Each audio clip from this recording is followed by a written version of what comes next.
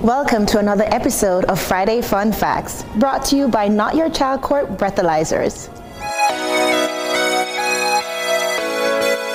Hi there. Next question. Okay, true or false?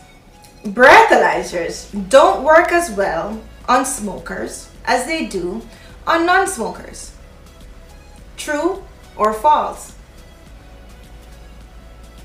This one is becoming less true as less lower cost semiconductor breathalyzers are being made. This is because the lower cost semiconductor breathalyzers may be affected by an exceptionally high levels of a compound called acetaldehyde. Acetaldehyde is an organic compound that is found in the lungs of smokers at a significantly higher rate or higher levels than those of non-smokers.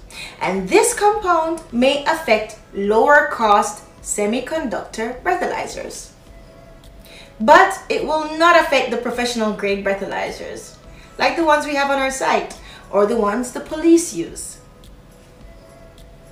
There. And now you know. Thanks again for joining us on another episode of Friday Fun Facts. And remember, when you feel different, you drive different. Drive sober.